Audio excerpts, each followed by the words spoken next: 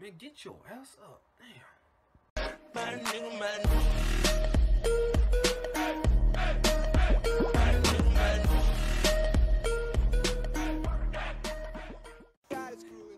Yeah, it's not easy climbing up to the ladder for success. By each step, there's something different. There's something that's not usually the same.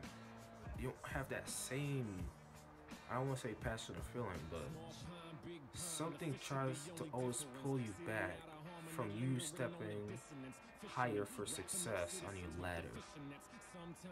People, people are just, I don't want to say they were built evil. It's just that, it's just the way that media kind of manipulated their brain to become this sort of hating slash savage type of people. Like I don't know what it is, but people, I- it's like people don't like achieving their dreams. They just wanna, they just wanna gather everybody in their their same level. and become this low life SOB, nothing to do throughout this whole life type of person. I'm not that type of person, man. I want to climb that ladder, get that um, get that trophy. I don't want to say trophy, get that dream. Go out there, grind hard every day, inspire everybody else. Because I don't like giving up. You don't like giving up.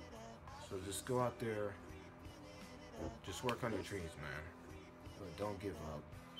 Don't don't listen to all these haters out there. You got it. Peace out. Stay strong.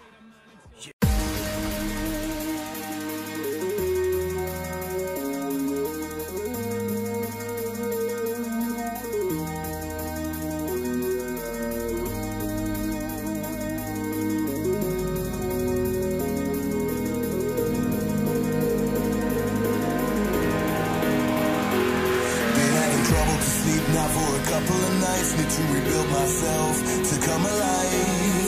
It all makes sense now, now that the lights out. It's a different world to me, it makes me feel that